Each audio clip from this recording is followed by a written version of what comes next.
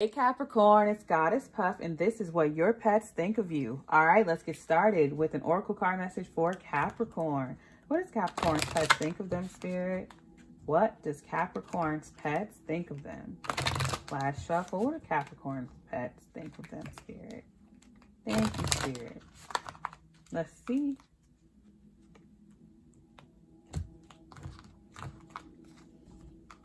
All right, we have frog creativity. Okay, they feel like you spend a lot of time with them. You're very creative with the toys you give them, the games you play. Red squirrel conscientious.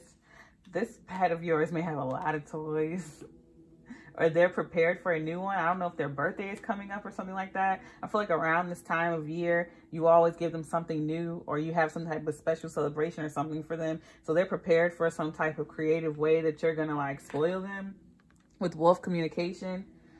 I feel like your pet has come become so accustomed to getting gifts around this time or around a certain time that they're more active and more communicative with you. They approach you more, they make more noise, they speak to you more, they brush up against you more because they're adjusted to a routine of yours. I feel like you do something new and creative around the same time each month or each year or something like that. Overall energy is dwarf resourceful.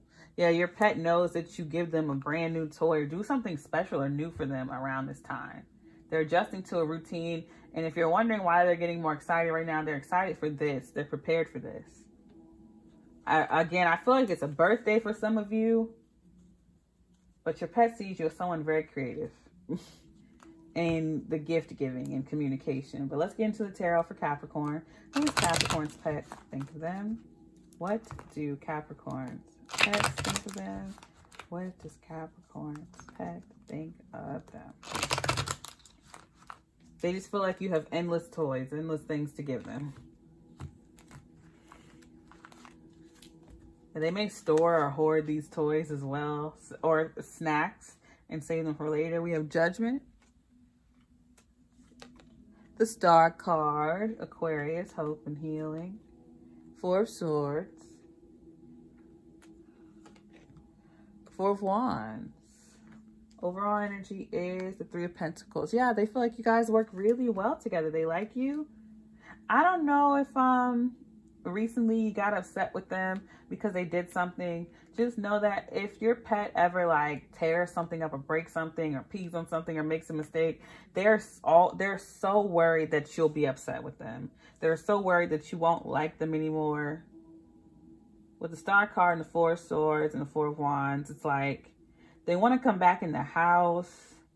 They're sad about you judging them. They hope that they can fix things with you. Because with creativity and conscious, I mean, conscientious, maybe they ran outside and they've been they've been gone for a couple days or like they they did something out of character and they're worried that you might not be happy with them yeah, with Judgment, the Star, and the Four of Swords. They want to fix things with you. I don't see that you're upset with them at all, okay? But this is just what's going on in their mind, all right? If you had a pet that recently ran away, they're going to come back, obviously. They're going to be outside your door crying for you. They're just hoping. Also, if you've been sick or hurt recently, they're they're worried and hoping that you heal. But I feel like this person, I mean, this pet, this is my first time doing pet reading, so bear with me. Your pet is like they want to heal things with you they want you to be healed they want harmony they want to come home or they want you to come home.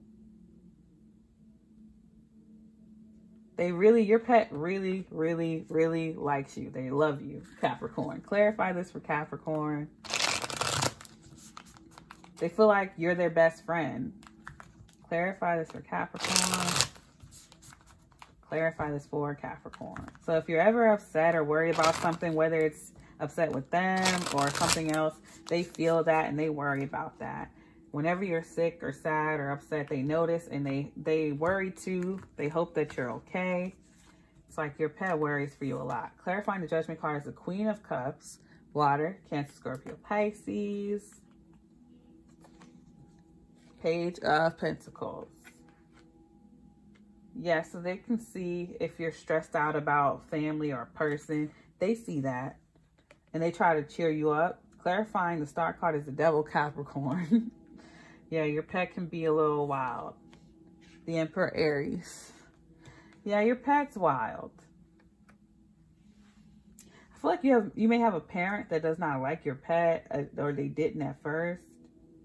Your pet acts weird around an Aries or a Capricorn. Because this person may have like mood swings and they your pet is anxious around this person because one minute this person could be very loving to them the next minute they're like mean so be wary of that your your pet may act weird around a family member in particular because they don't know what to expect from this person. This person's all over the place. One minute they're super loving and nice to your pet, the next minute they're mean as hell.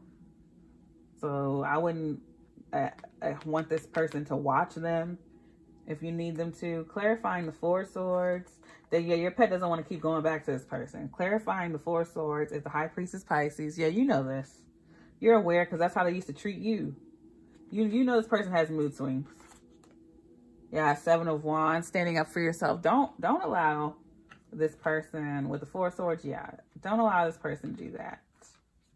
I feel like you have a family member or relative who puts your your pet outside when you're not home.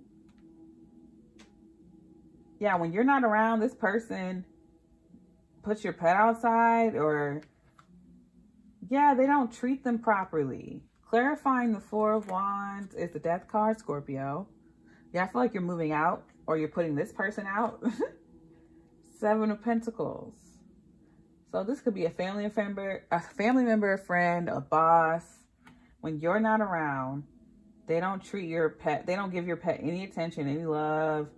They the all they do is feed them. Okay, they do not do what they're supposed to do. Orange is the full card, Aquarius. So I don't know if you have some type of caregiver especially if they're an Aries or if they're older or if they're Capricorn, Aquarius. This person, ugh, they do not treat your pet right. With the Four Swords, the High Priestess, Seven of Wands. Yeah, they don't want to be around them. I feel like it's a, a, a parent of yours, someone older than you. Someone older than you, and they're kind of stuck up-ish. It's like they, uh, they treat your pet very badly. This person is not a pet person. I would not leave my pet with them. Or pets. With the Four Wands and the Death card and the Seven of Pentacles, communication. Your pet wants to come back home. So if you do have your pet staying with someone and they constantly call you telling you, they're, yeah, they're making noise, asking for you or whatever. If they, if you tell them not to let your pet go outside, they have put your pet outside. Or they have not taken them on the walks that they were supposed to take them on. They've confined them to a space and they give them no attention. They want to come back home. Yeah, with Wolf Communication, with the Four of Wands, the Death card, and the Seven of Pentacles. It's like they want to be with you. They want to travel with you. They don't want to stay in this one place. I don't know if you're not allowed to have pets where you are, so you had to leave them somewhere. But they don't want to be there anymore. Your pet wants to be with you. They want to be reunited with you. They want to come live with you, come stay with you. Maybe you thought this was the best option for them so they can run around. Maybe you had to move to an apartment or a city area or something. They want your pet misses you. They want to be with you. Or whoever's watching them while you're at work or whatever, do not send them to this person anymore. They lie. They are not doing the things that they are supposed to do. They're not playing with them like you would. They're not walking them like you would no, they're not, no. They're not harming them physically or anything like that, but they're not doing the things that they are supposed to do. Your pet feels like you work too much. You don't spend enough time with them. Of course that would come out, but they miss you. All right, I'm gonna leave it there. If this reading resonated, don't forget to give me a like, comment, subscribe, or share. If you're interested in booking a personal reading with me, all of my information is in the description box below. If you would like to check out my sister's beautiful crystal jewelry, which I'm always wearing, her Etsy link is in the description box below as well. I send you peace, blessings, and love. Namaste.